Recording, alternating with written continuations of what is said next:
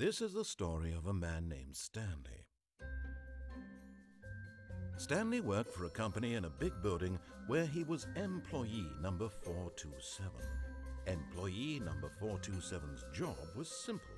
He sat at his desk in room 427 and he pushed buttons on a keyboard. Orders came to him through a monitor on his desk, telling him what buttons to push, how long to push them, and in what order.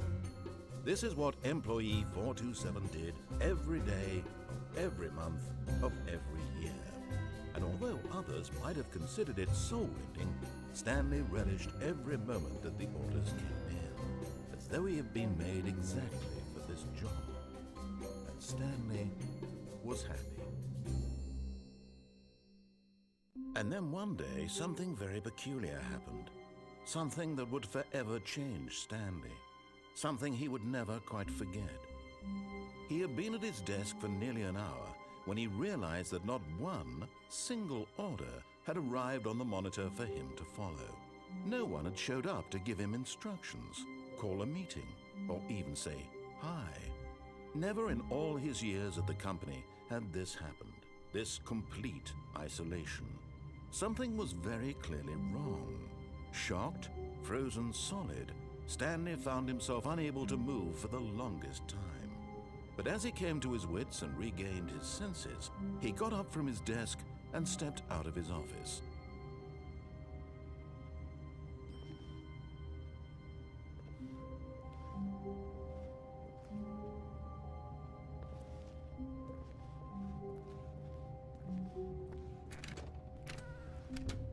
But Stanley simply couldn't handle the pressure.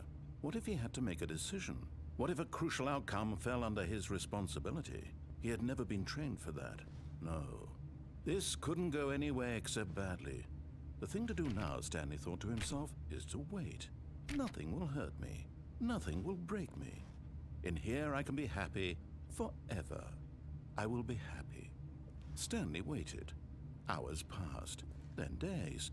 Had years gone by? He no longer had the ability to tell. But the one thing he knew for sure, beyond any doubt, was that if he waited long enough, the answers would come.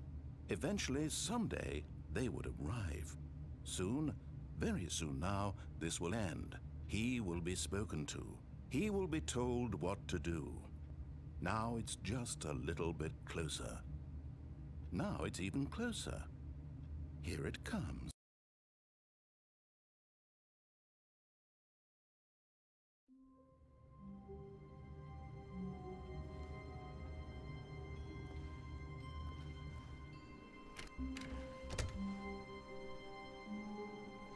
All of his co-workers were gone.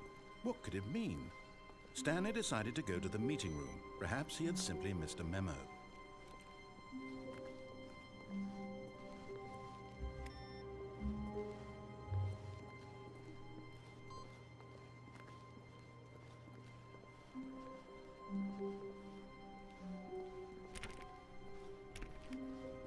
When Stanley came to a set of two open doors, he entered the door on his left. This was not the correct way to the meeting room, and Stanley knew it perfectly well. Perhaps he wanted to stop by the employee lounge first, just to admire it. Ah, yes, truly a room worth admiring.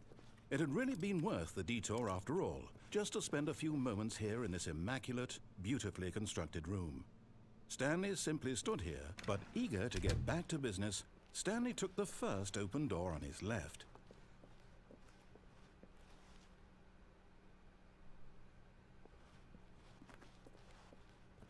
Stanley was so bad at following directions, it's incredible he wasn't fired years ago. Look, Stanley, I think perhaps we've gotten off on the wrong foot here. I'm not your enemy, really, I'm not. I realize that investing your trust in someone else can be difficult, but the fact is that the story has been about nothing but you all this time. There's someone you've been neglecting, Stanley. What? Really? I was in the middle of something. Do you have zero consideration for others? Are you that convinced that I want something bad to happen to you? Why, I don't know how to convince you of this, but I really do want to help you, to show you something beautiful. Look, Let me prove it. Let me prove that I'm on your side. Give me a chance.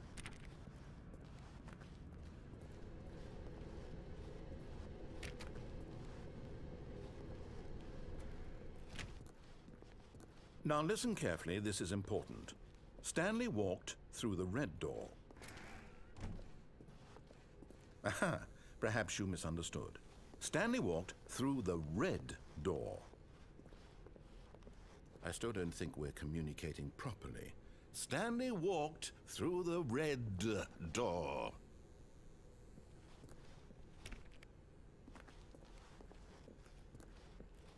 All right, fine. Go ahead, Stanley. You want to know so badly what's out there? You want to find out what lies at the end of this road you've chosen? Well, don't let me stop you. You see? There's nothing here. I haven't even finished building this section of the map because you were never supposed to be here in the first place. Broken rooms, exposed developer textures. Is this what you had wanted? Was it worth ruining the entire story I had written out specifically for you?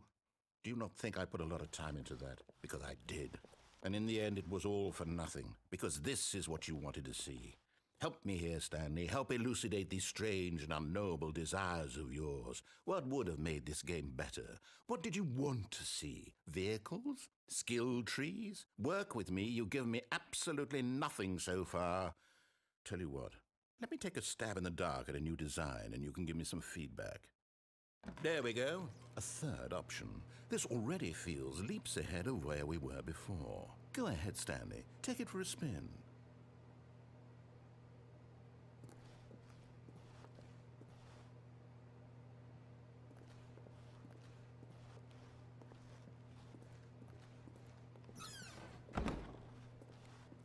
Okay, I'm going to stop you there. Now, tell me about your experience with this new version. Would you say that the game benefited from allowing you more choices? Feel free to be honest. I'm looking for some real critical feedback here. A one? I mean, I can understand if you had reservations, you saw ways the game could be improved to more fully express itself mechanically and artistically, but a one? That's not even helpful. What am I supposed to do with that? Uh, but I guess it isn't my place to judge.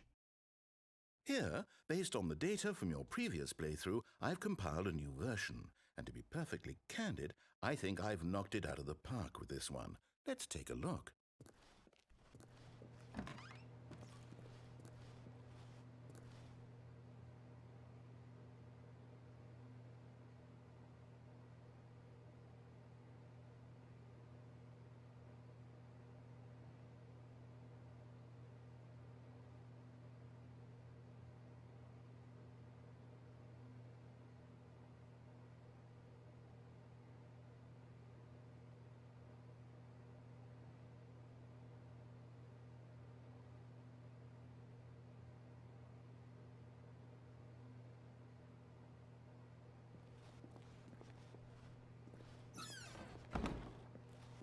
Now, would you say that competitive leaderboard helped you feel motivated to keep walking through doors? Again, honest answers, please.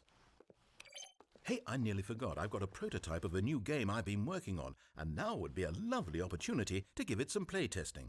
You wouldn't mind taking a look at it, would you? Perfect. Let me boot it up. In this game, the baby crawls left towards danger. You click the button to move him back to the right, and if he reaches the fire, you fail. It's a very meaningful game, all about the desperation and tedium of endlessly confronting the demands of family life. I think the art world will really take notice. But of course, the message of the game only becomes clear once you've been playing it for about four hours. So why don't you give it four hours of play to make sure it's effective? Be sure to keep notes on your experience.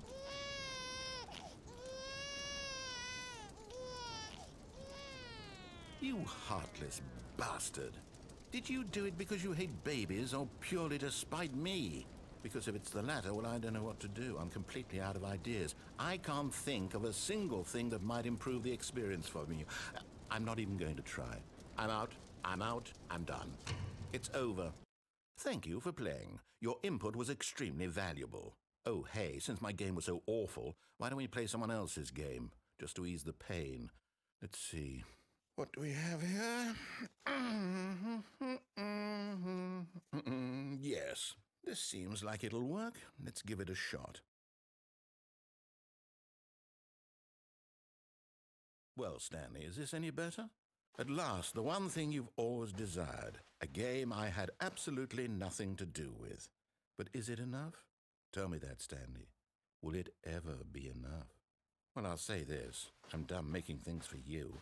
From now on, I will only create to fulfill a greater artistic purpose. Watch this, Stanley. I'm going to build a house.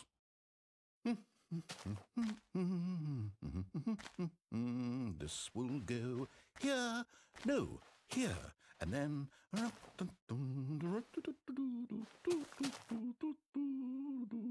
Let's see, what does it need? I, uh, yes, of course, and just to finish it all off, yes, it's complete. I made this, Stanley. Look at it. Gaze upon my work of art and feel ashamed at your own inadequacy. Ah, but you've only seen it from the outside. You've only gotten half the experience. Please, step inside and make yourself comfortable.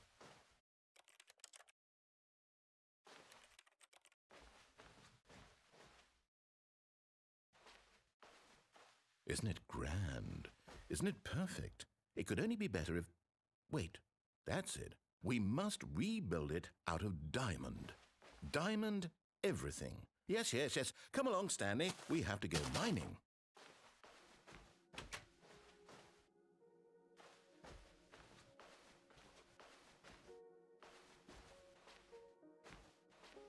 Oh my, it looks like it's going to get a bit dark. Have you brought a light?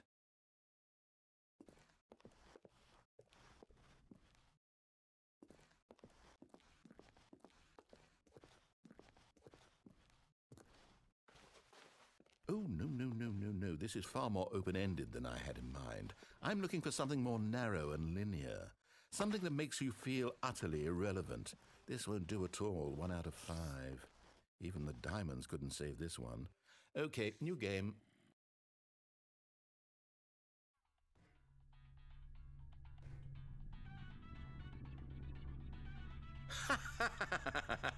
yes! I don't even know what this game is, but I love it.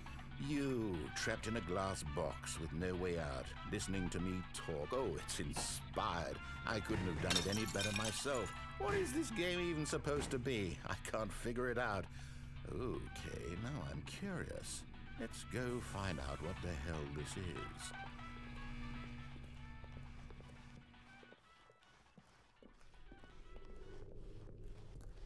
Oh, it's a puzzle. Critical thinking, Stanley. Your forte. Genius. No, actually, you know what? I think that's plenty. I really don't care much to see you stumble through any more of these games, and I highly doubt you're any wiser for the experience. Which is why, rather than continue to waste my time, I'm just going to leave you here. You can pretend you've beaten the game if it makes it any richer for you, but as for me, I've had enough. So, why don't you get cozy in this room, and if you have any grand revolutionary ideas for the perfect video game, you can just sit there and let it bore.